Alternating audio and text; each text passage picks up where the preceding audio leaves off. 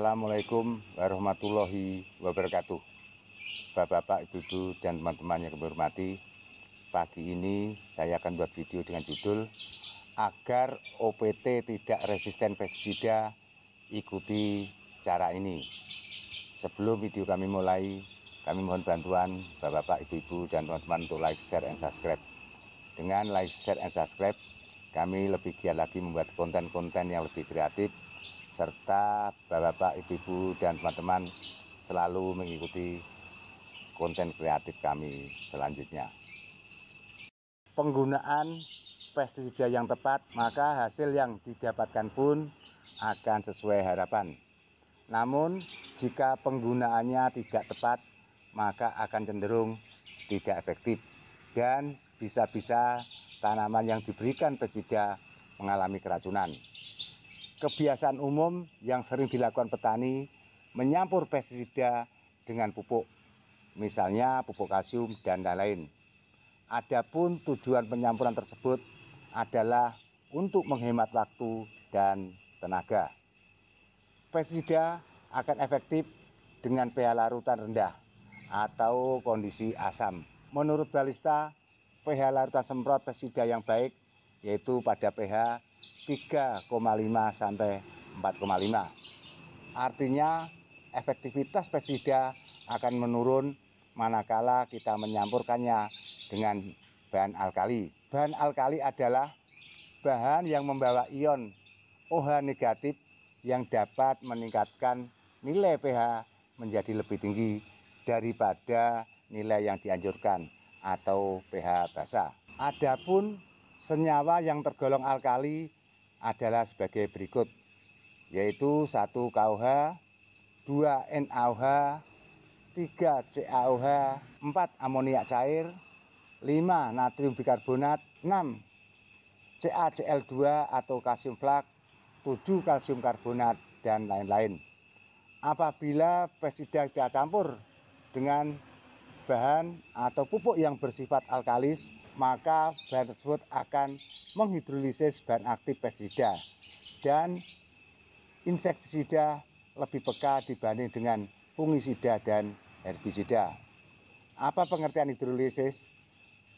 Hidrolisis adalah suatu proses kimia yang dapat memecah suatu senyawa atau bahan aktif pestisida menjadi bagian yang kecil-kecil sehingga terurai dan menjadi bahan yang tidak aktif lagi. Dan pemicu hidrolisis bukan hanya bahan alkali saja, akan tetapi air yang kita gunakan untuk penyemprotan. Karena air tersebut ber-pH tinggi. Di samping itu, efek hidrolisis juga membuat umur larutan semprot menjadi lebih pendek, yaitu kurang lebih 2 jam. Jadi bila mana aplikasi pestisida tidak memberikan efikasi yang baik, lakukan analisa pH air larutan semprot.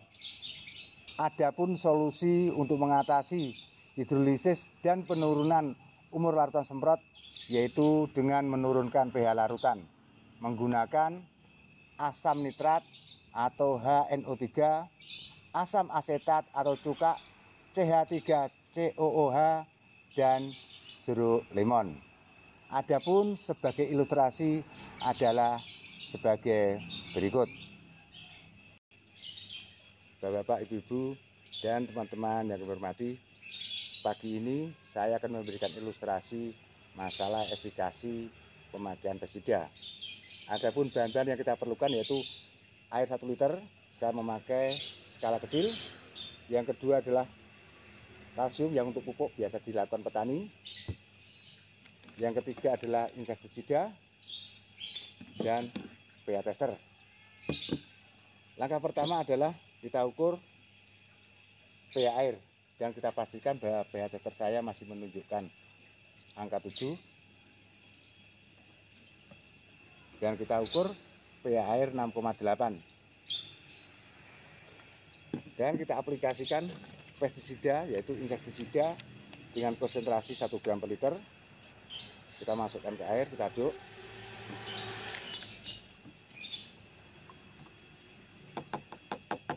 dan setelah itu kita berikan kalsium yaitu dengan konsentrasi 2-3 gram per liter seperti kebiasaan petani.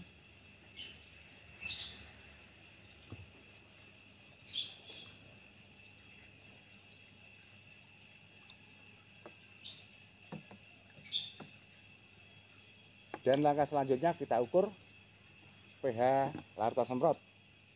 Dan kita pastikan pH teter saya masih menunjukkan angka 7 dan kita ukur setelah kita ukur pH larutan yaitu 6,9 apabila campuran ini dipasangkan untuk penyemprotan yang pertama umur larutan akan turun yaitu kurang lebih dua jam. Jadi setelah dua jam apabila digunakan maka bahan aktif tersebut sudah tidak ada manfaatnya sehingga akan terjadi resistensi terhadap hama. Dan bahan aktif intensida tersebut akan mengalami hidrolisis.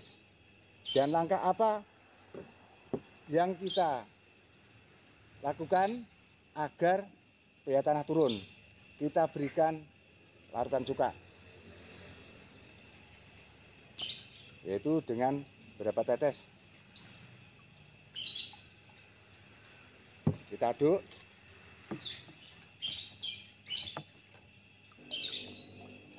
Kita berikan larutan.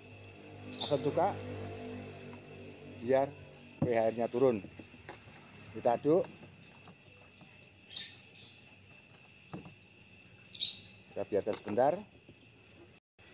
Bapak, Ibu, dan teman-teman yang kami hormati sebelum kita ukur pH larutan kembali kita pastikan bahwa pH teter saya masih menunjukkan angka 7 dan kita ukur ke pH larutan ya setelah kita ukur pH larutan pH larutannya turun menjadi tiga lebih sedikit. Berarti larutan pesida yang akan kita aplikasikan kembali menjadi efektif. Bapak, Ibu-ibu, dan teman-teman yang kami hormati, saya kira cukup sekian dulu video pagi ini yang membahas agar OPT tidak resisten pestisida, ikuti cara ini.